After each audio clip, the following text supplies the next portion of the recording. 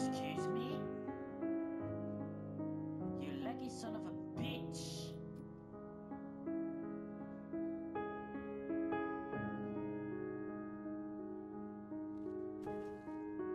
Wow!